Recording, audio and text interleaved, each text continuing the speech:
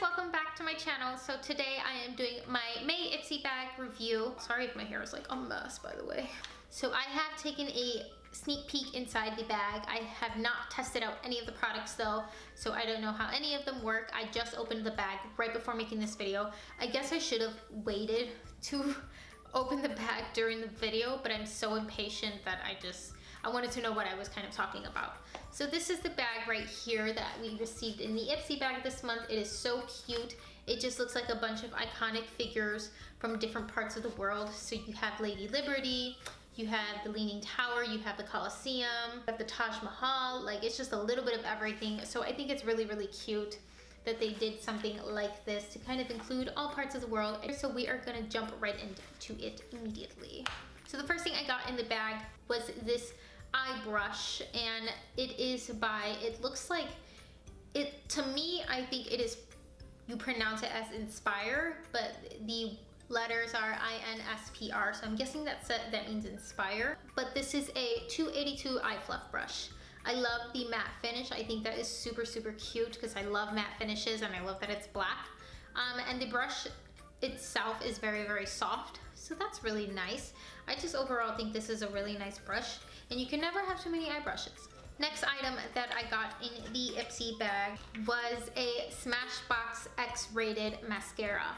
And this one is a travel size. I always love travel size mascaras just because you can really just throw them in your purse. I've never tried this one out before, um, but Smashbox is also an amazing brand, so I'm sure I'll just love it.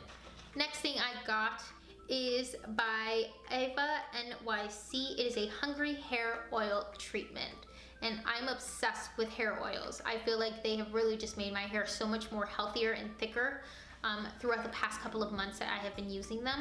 So I'm really, really excited that I got this one and I just wanna smell it because all hair oils kind of smell differently. Ooh, that smells so good.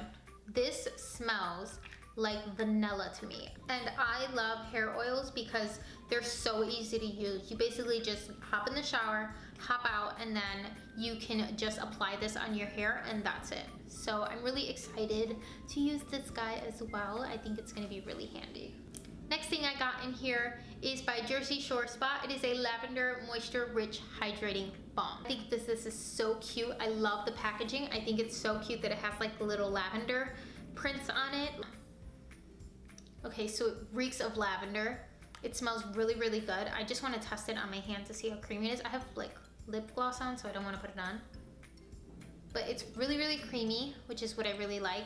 And what better time for Ipsy to give us a um, lip balm than right now when it's about to be really warm outside and it's about to be summer.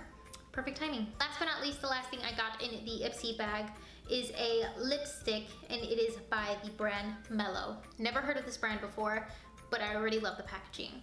And this is the color Electro. Looks like it's gonna be like an orangey colored lipstick. It is, it's almost like a reddish orange color. This is like gonna be such a pretty color for the springtime and the summertime. Like I said, this color is called Electro and it is a matte lipstick. So let's test that out on my hand. That is such a pretty color. It's very, very pretty. I really like that color. That's gonna be a nice summer color. So that was basically everything in my bag. If I could choose one that I really, really enjoyed the most, um, or that I'm really excited about the most, I would have to say the Hungry Hair Oil Treatment just because I'm obsessed with like skin and hair products right now more than anything else. So this one I'm really, really excited to test out. Basically gonna be it for this video. I really hope you guys enjoyed it. Thank you again so much for watching. If you did like it, make sure to give it a big thumbs up. And if you're new to my channel, don't forget to subscribe. Let me know what you guys got in your Ipsy bag. And for my subscribers who are also YouTubers, you can just leave your link down below in my comment section and I'll definitely go check that out. Thank you guys again so much for watching and I'll see you guys in my next video. Bye!